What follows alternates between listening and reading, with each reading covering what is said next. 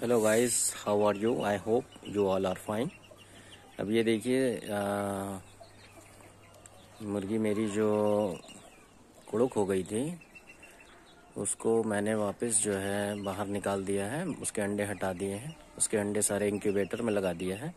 और ये मुर्गी फिर से देखिए जो है धीरे धीरे जो है अब ये अपनी कुड़की तोड़ देगी। मतलब जो ब्रूडी हैन होती है, वो वापस नॉर्मल हैन हो जाएगी और फिर जो है ये अंडे देने लगेगी। ये प्रोसीजर होता है क्योंकि ये अंडे बहुत कम देती हैं, चार से सात अंडे ये देती हैं सिर्फ़। ये प्योर ब्रीड की मुर्गियाँ होती हैं।